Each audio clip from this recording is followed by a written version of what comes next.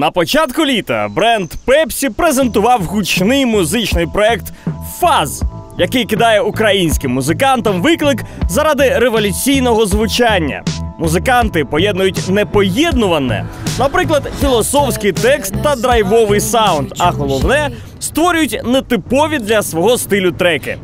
За допомогою колаборації талановитого саунд-продюсера Морфом і відомих представників шоу-бізнесу з'являються нові треки, що одразу стають хітами. Роман Черенов, він же Морфом, який вже відомий своїми роботами з Джамалою, Доманікен, гуртами Дахабраха та Пурпур, розповів, з ким з артистів хотів би створити саунд-колаборацію. Критерій не то, що це не якесь там, як би то, полювання, знаєш, я там полюю там на Мадонну, знаєш. Ні, ні, це, це виключно от, воно вже в процесі. Це бажання, воно фактично в процесі. Тобто ти щось робиш, і ти знаєш, починаєш чути, що, що там, хто б міг би, ну, з ким би попрацювати. Тобто немає конкретних там розписаного бізнес-плану, що так, Тімоті, Джек Вайт. Ні, немає такого плану. Першим музикантом, якого представив Роман Черенов, став Дмитро Шуров. Піанобой не просто долучився до проекту, він ще створив авторську пісню на вершині з нотками сучасної електроніки.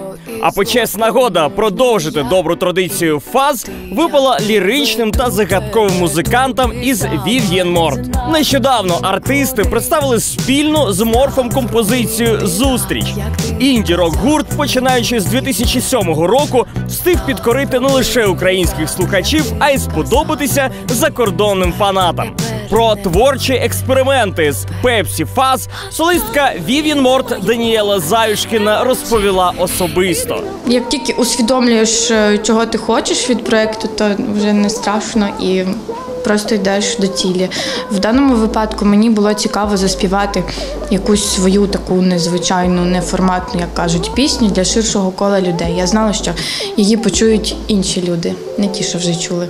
Натхненником фаз став американський гітаріст віртуоз Джиммі Гендрікс, який півсторіччя тому змінив уявлення про музику. Непередбачуваний артист першим підпалив на сцені гітару, а за винайдені ним звукові ефекти видання Time назвало музиканта найвеличнішим гітаристом усіх часів.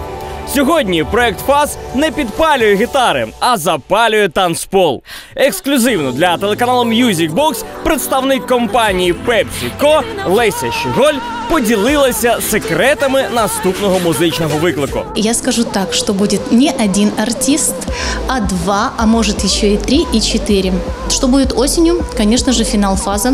А, вот все исполнители, которые примут участие в этом проекте, сделают небольшую пепси-вечеринку. Телеканал Music Box продовжитиме стежити за новими тенденціями у світі музики, адже музика це момент. Відчуй його разом із Пепсі.